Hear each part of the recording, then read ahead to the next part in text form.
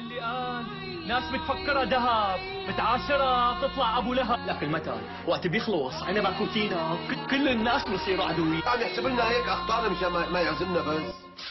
معلش زكي معلش زكو بس كان شاطر بالحساب وعم يحسب لنا أخطائنا.